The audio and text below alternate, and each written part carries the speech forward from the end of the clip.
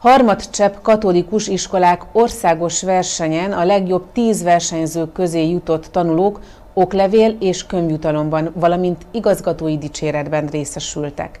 Nagy Kamilla másodikos, Bagdi Janka másodikosztályos, Antal János Írnik második évfolyam, Győri Zita harmadik osztály és Rózsa Zita harmadik osztályos tanulók. Mi volt pontosan az a verseny? Mondd el nekünk, hogy a nézők is tudjanak róla bővebben. A katolikus iskolák között megrendezett levelezőverseny.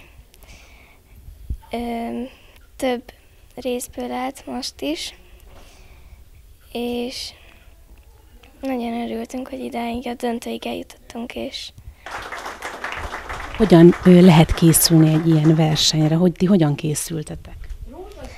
Hát például ilyen régebbi feladatlapokat kinyomtattak anyáik, és azokat megoldottuk, és kiavították. A szüleiteken kívül ki volt ez a pedagógus, aki segítette még a munkátokat? Manánétok is, jó. Mi volt a nyeremény, amit kaptatok? Egy könyv és egy oklevél.